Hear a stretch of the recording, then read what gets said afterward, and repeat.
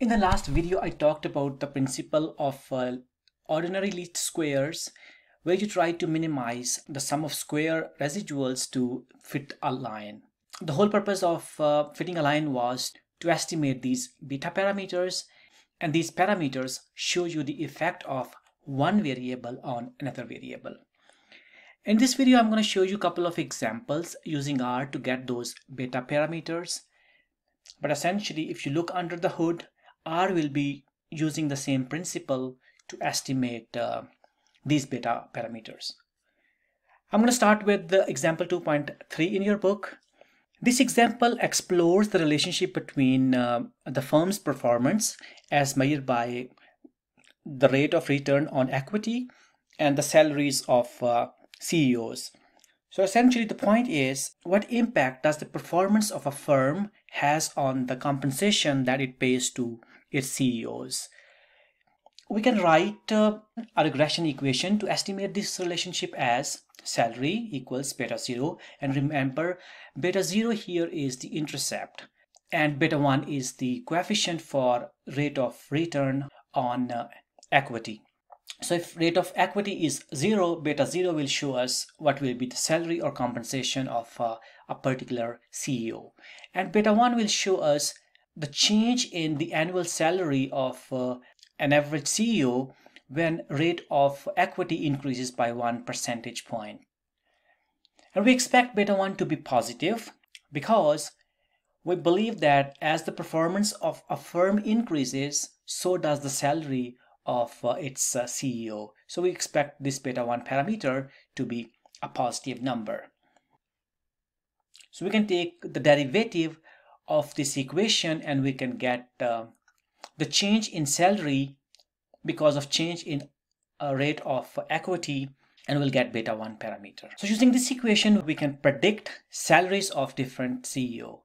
Remember, after running the regression, we'll have uh, these beta parameters. We'll have a value of beta 0 parameter and a value of beta 1 parameter. After we have those, we can plug in different values of return on equity in this equation to get the predicted salaries. So here we have data of uh, 209 CEOs and we are interested in knowing this relationship. The first thing to do is I'm gonna download this data from the Wooldridge package. I'm gonna save it as my data. I'm gonna attach this data. There are 209 observations in this data set. And our two variables of interest are this variable salary and return on equity, this variable. And the next thing you have to think about is you have to know the unit of measurement of both of these variables. For example, salary here is represented in thousands of dollars. So the salary of the first CEO is more than $1 million. And this return on equity, it is represented in percentage. So the return on equity here is 14.1%. So pay attention on these uh, units of measurements. These units to play a huge role when we will be interpreting these results. And remember, interpretation is the major part in this course. So what I'm going to do is I'm going to define these variables. I'm going to call my dependent variable salary as y. I'm going to save it as a column. This variable is saved in a different column now. And return on equity, I'm going to save it as my x variable. So you can look at this x variable here. And there are 209 observations for this variable as well. It's always a good idea to look at the summary statistics for both of these variables uh, to know what is the average, what's the minimum value, what's the max. For example, return on equity, it's got to be between 0 and 100. If you see an observation which is more than 100 or a negative observation here which is less than 0, you have to go to your data and see what is happening. So it's always a good idea to look at these numbers. Next, we're going to explore the correlation between uh, these two variables. And it seems like the correlation uh, coefficient is about 0.11.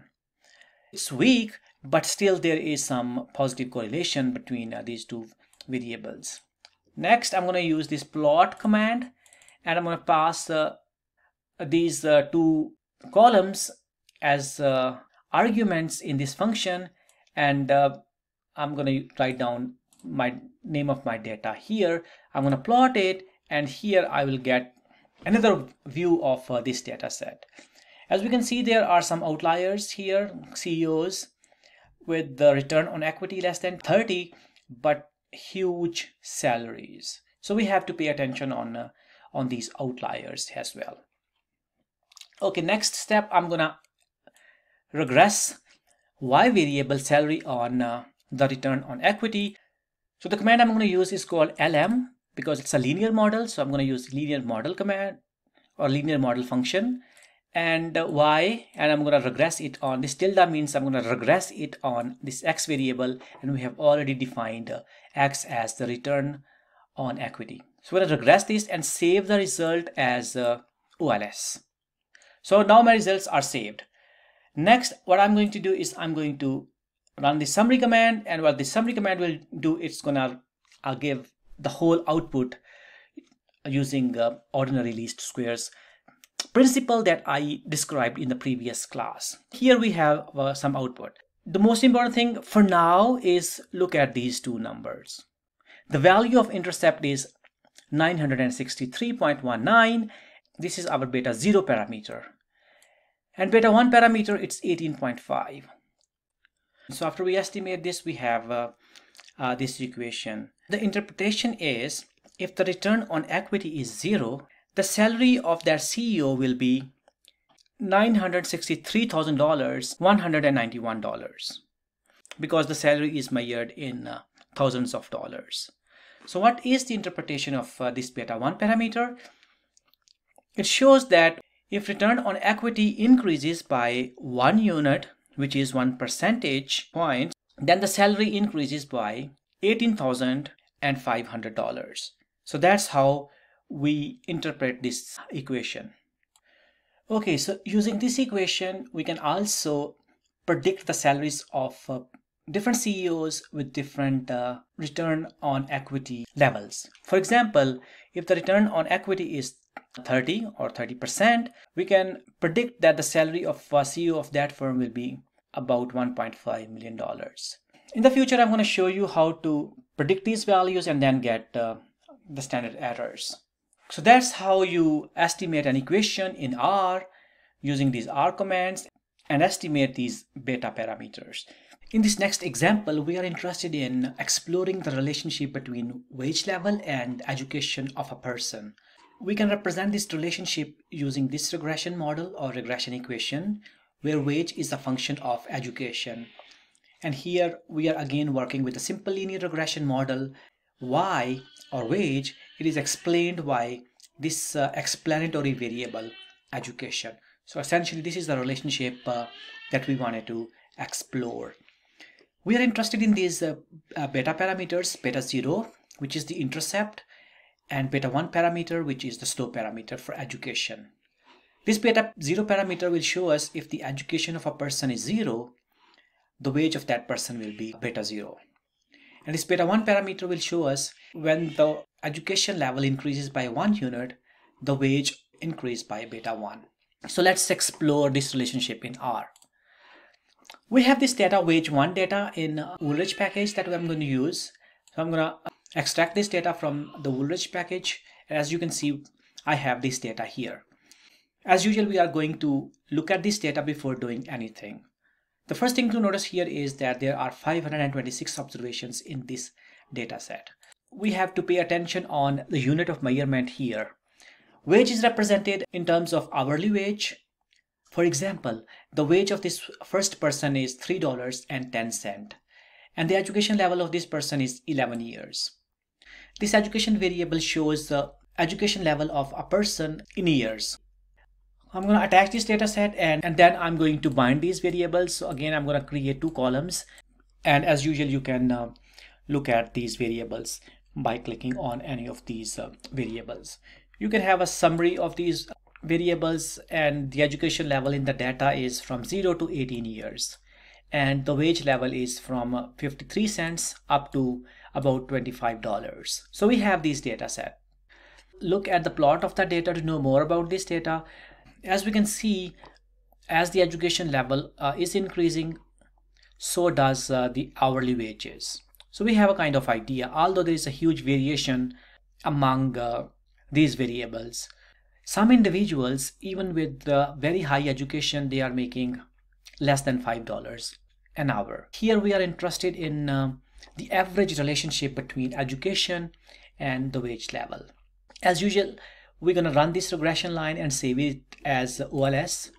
We can call it OLS of wage and uh, the function is LM, linear model, and this Y is our dependent variable and we are regressing this variable on X variable, which is our explanatory variable here. And this tilde means we are regressing Y on X. So we're going to save this variable and then we are going to get the summary statistics and uh, again get beta parameters. So these are the two beta parameters. The intercept is minus 90 and the slope of uh, the education variable is 0.54. So what are these uh, beta coefficient representing?